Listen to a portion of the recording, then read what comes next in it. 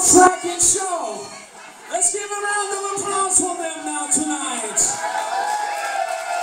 Oh, yes. You know, same with Iron Maiden Arms. You know, it's been a long time for those too, you know. But you know, we make our way through the time.